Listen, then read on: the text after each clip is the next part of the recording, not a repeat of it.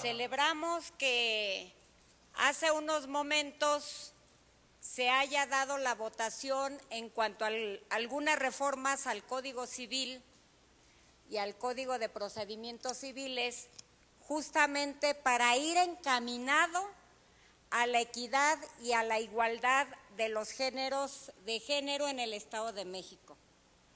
Pero miren, me voy a permitir relatar una parte de este libro, Las muertas del Estado, porque creo que todos tenemos que sensibilizarnos de lo que pasó. Y justamente por qué esta parte. Porque el día de ayer la mamá de la madre de Irinea todavía en una sesión que tuvo en la Facultad de Derecho de la UNAM estaba pugnando porque se le hiciera justicia a su hija. Asesinato en manos de su esposo. Y miren el relato estremecedor. Irinea observó los golpes en las piernas de Mariana, desde los tobillos hasta los muslos. En el izquierdo resultaba evidente una lesión de 15 centímetros de diámetro, reciente por la piel enrojecida. En la frente tenía un raspón cubierto por el cabello, acomodado de manera inusual para el estilo de peinado de la joven. Las dos caras de la entrepierna mostraban golpes. En el pómulo derecho resaltaba un arillo rojo, como si ahí hubiera presionado con un objeto sólido y anillado. Irinea piensa que Ballinas, el esposo, apretó su pistola contra la cara de su hija. El relato, esto es una pequeñísima parte del relato de la madre de Irinea. Pero así como la madre de Irinea, hay muchas mujeres en el Estado de México que han sido asesinadas y que hay una disparidad en las cifras que dan las instancias, que da la Procuraduría, que da el propio gobierno del Estado. Y esta parte del relato me interesa porque el esposo trabajó en la Procuraduría de Justicia del Estado de México. Fue encubierto por ministerios públicos de la Procuraduría. Y la madre aún no encuentra justicia. La quisieron incinerar la madre se aferró para que no se incinerara. Los procedimientos siguen vivos. Y miren, ha sido un batallar de la madre hasta el día de hoy. Como este caso, hemos tenido, según nuestras cuentas, 42 mujeres asesinadas al día de hoy. La última, las últimas, fue encontrada en Almoloya de Juárez. Y Almoloya de Juárez no está considerado como municipio que esté dentro de los 11 municipios en alerta de género. Otras dos fueron encontradas en Ecatepec. El problema es que los crímenes cada día son más terribles porque ya son desolladas, son quemadas de la parte de la cintura hacia abajo. Y este problema sigue siendo en el Estado de México. Otro de los problemas que tenemos es que no hay cifras reales de lo que se da. Y lo que aprobamos muchas veces hay distancia entre la realidad. Les voy a decir al menos lo que yo he investigado. Se dice que en el Estado de México se está trabajando para que haya menos feminicidios. La muestra la acabamos de votar en este momento, pero en la realidad no se da. En la Subprocuraduría de Justicia relacionada a este asunto, yo quisiera saber cuántos policías ministeriales tiene la Fiscalía de Trata, por ejemplo. ¿Cuántos? ¿Saben cuántos tiene? Seis. Para un asunto del Estado de México es terrible. ¿Saben qué presupuesto tiene? ¿O con qué se está trabajando? ¿Cuántos tiene la Fiscalía de Trata? ¿Alerta Amber? ¿La Fiscalía de Desapariciones Forzadas? ¿Con cuánto están trabajando? ¿Con qué elementos? Sí creemos que están haciendo un trabajo a marchas forzadas, pero que ha sido insuficiente. Esta muestra de que tiene seis, cuando yo pregunté en una reunión que tuvimos en esa, que hemos estado haciendo reuniones interinstitucionales y estuve con todas las fiscalías y pregunté cuántas tiene la Fiscalía de Feminicidios. Es la contestación que me dieron. Entonces, ¿a qué voy? Lo que aprobamos, lo que se dice en el discurso, dista mucho de lo que está pasando. Ese es el problema real. Y yo creo que tanto el legislativo como el ejecutivo sí tendremos que hacer grandes esfuerzos por fortalecer de manera permanente estas áreas. Otra, cuando yo pregunté al Consejo, a la vocal ejecutiva del Consejo de la Mujer hace cosa de un mes, quisiera yo saber qué elementos tiene para la desaparición de adolescentes, qué están haciendo, cómo se está haciendo, qué programas, qué se está formulando, cómo le piensan hacer. Y de manera muy respetuosa, sí lo digo, me dieron toda la información, pero me dieron la información sobre los programas sociales, pero la información sobre estos asuntos no tenían un lineamiento de manera formal, institucional, de lo que se estaba haciendo respecto a esa área. Y yo creo que es, y nosotros, no yo, sino nuestra, fracción parlamentaria, es preocupante ver que todavía se dista mucho de lo que hay en el papel a lo que hay en la realidad, a lo que hay en el discurso. El Ejecutivo dio un decálogo el día de antier sobre algunas acciones creo que son correctas, pero algunas de ellas ya estaban.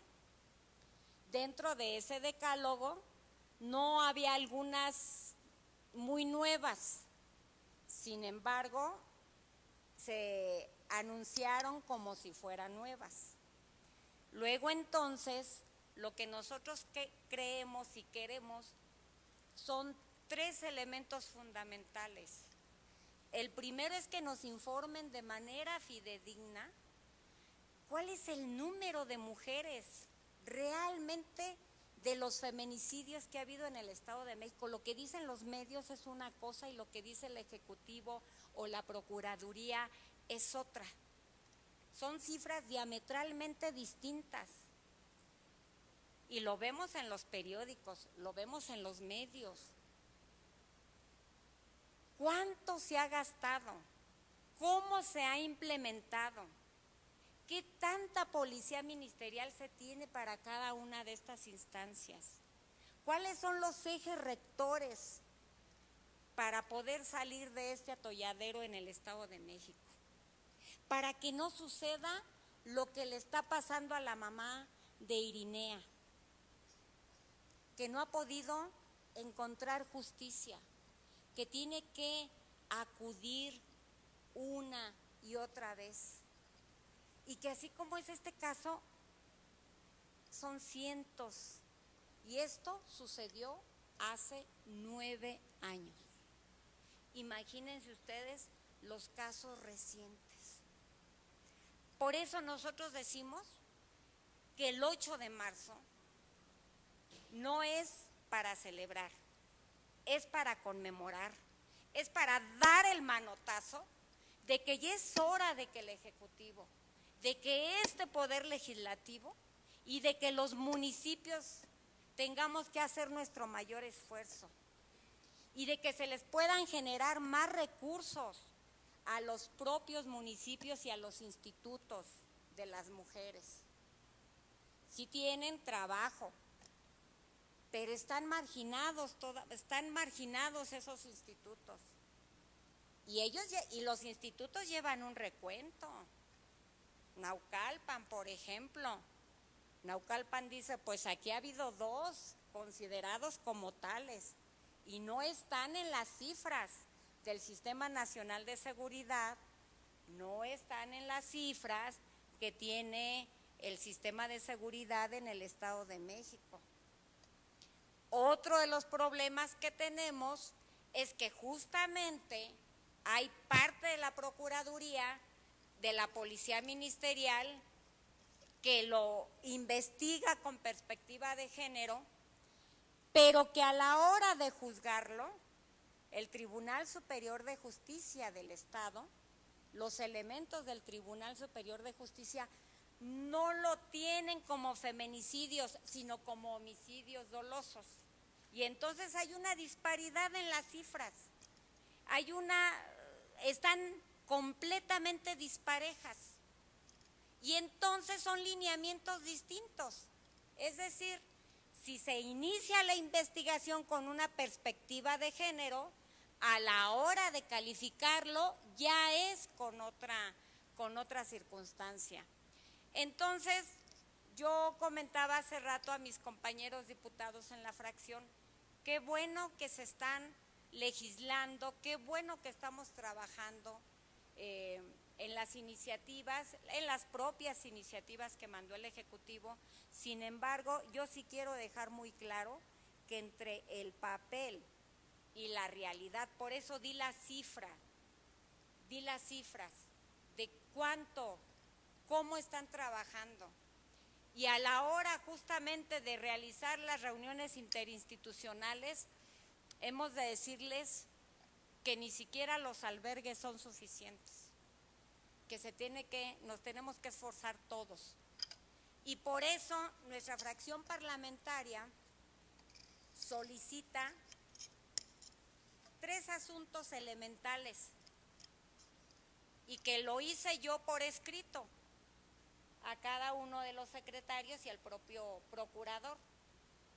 Giré oficios por escrito y hasta el día de hoy no he tenido ninguna respuesta. Y me gustaría y nos gustaría que de manera precisa, de manera transparente, se pudiera dar respuesta independientemente de que se gire este punto de acuerdo a las comisiones. Y sobre todo que no queden los puntos de acuerdo o lo que los diputados en tribuna nos esforzamos por elaborar por trabajar, por investigar, no en un afán incluso de confrontación, sino en un afán de aportar, de coadyuvar a este poder legislativo, en un afán de que este poder legislativo se vea una, una cara de pluralidad.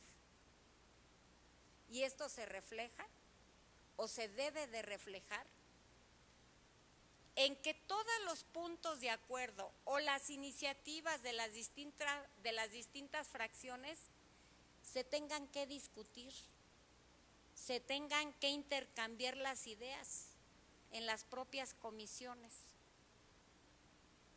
Eso es. Es un esfuerzo que cada una de las fracciones hacemos. Puede que a algunas fracciones no les guste, pero es nuestro papel como legisladores y de manera muy respetuosa, nunca descalificando, dándole un sentido a este poder legislativo. Y estamos proponiendo en este punto de acuerdo, primero, se, exhorta respetuosamente al titular del Ejecutivo Estatal, informe a esta soberanía sobre los recursos ejercidos y las acciones implementadas y de los avances de las mismas en relación a la alerta de violencia de género que tuvo a bien autorizar para 11 municipios del Estado de México la Secretaría de Gobernación el pasado 28 de julio del 2015. Segundo, se exhorta respetuosamente al Ejecutivo Estatal tenga bien implementar las acciones y políticas públicas con la finalidad de estar en condiciones de ampliar la cobertura de la alerta de género. En el entendido que no nada más le corresponde al Ejecutivo, eso está claro, sino a las organizaciones civiles y que cada uno haremos lo propio. Se puede extender en los 114 municipios faltantes de nuestro estado. La argumentación ya la di. Tuvimos el caso más reciente en Almoloya de Juárez y no está contemplado. Tercero, se exhorta respetuosamente al titular del Ejecutivo Estatal gire sus apreciables instrucciones a efecto de que el titular de la Procuraduría General de Justicia del Estado de México envíe a esta soberanía un informe pormenorizado del número de homicidios culposos en contra de las mujeres mexiquenses ocurridos en el periodo de enero 2010 a febrero del 2016.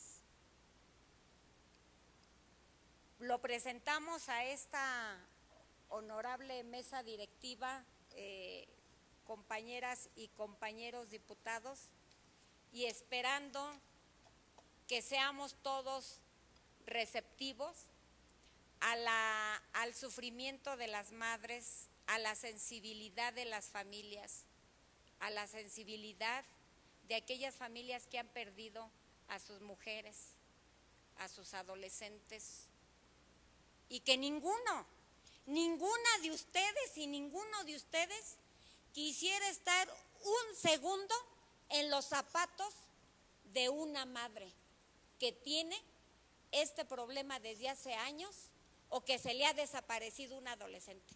Ninguno. Porque todos estamos sentados muy cómodamente en nuestras curules. Pero cuando ven llorar a una madre, a cualquiera que tenga sentimientos o que tengamos sentimientos, no nos gustaría estar un segundo en sus zapatos.